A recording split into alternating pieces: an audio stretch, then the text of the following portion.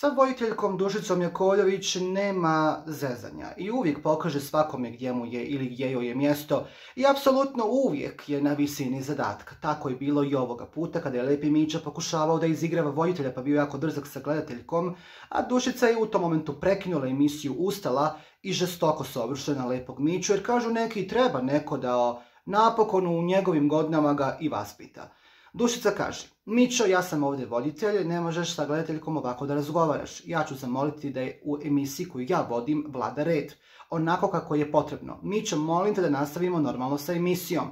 Rekla je Dušica, Mića je pre toga rekao voditeljki, ajde sad bježi laku noć. Nastao je neviđeni paka u reality, to jest u studiju Pink televizije, a Dušica Jakovljević ovoga puta pokazala je lepo Mići koji voditeljka i koji glavni i kako ona zavodi red. I možda ga posjetila da nije više za crnim stolom i da ovo nije reality program, već emisija u kojoj mora da se poštuju i tuđa pravila.